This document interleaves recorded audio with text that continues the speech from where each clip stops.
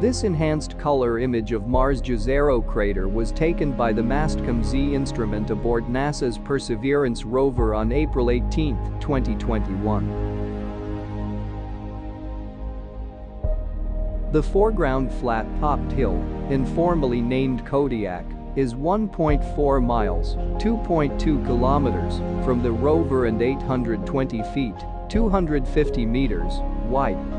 It exposes ancient layered rocks that indicate gradual deposition of sediments in a river delta, followed by floods.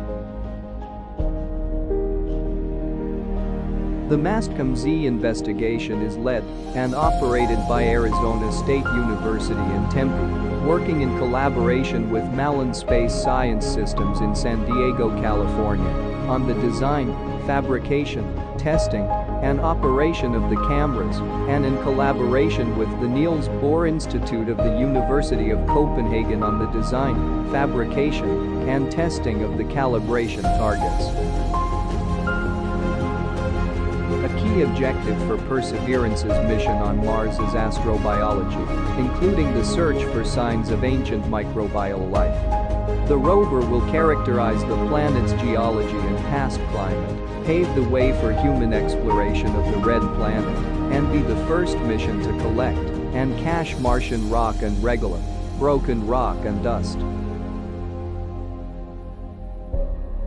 Subsequent NASA missions, in cooperation with ESA, European Space Agency, would send spacecraft to Mars to collect these sealed samples from the surface and return them to Earth for in-depth analysis.